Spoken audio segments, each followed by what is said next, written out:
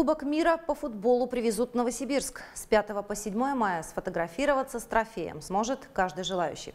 Маршрут Кубка по России самый протяженный в истории Мундиаля. Перед началом чемпионата трофей побывает в 24 городах нашей страны. В Новосибирске его выставят в фан-зоне на Михайловской набережной. Там же 14 июня жители города смогут посмотреть на большом экране прямую трансляцию открытия турнира и матч между Россией и Саудовской Аравией.